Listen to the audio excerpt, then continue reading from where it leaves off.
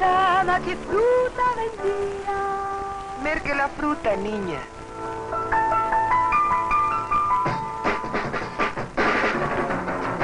Otra mexicana, de fruta en botella, naranja, mango y piña, guayaba y limón.